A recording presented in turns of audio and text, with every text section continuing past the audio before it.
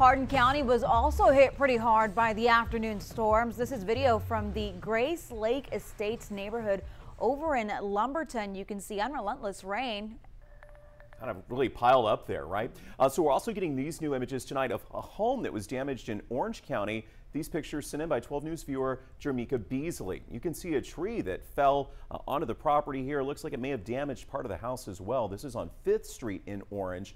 In Orange County tonight, nearly 1,800 Entergy customers still don't have power. Yeah, an improvement from this afternoon when it was about 4,000 people. Chief Meteorologist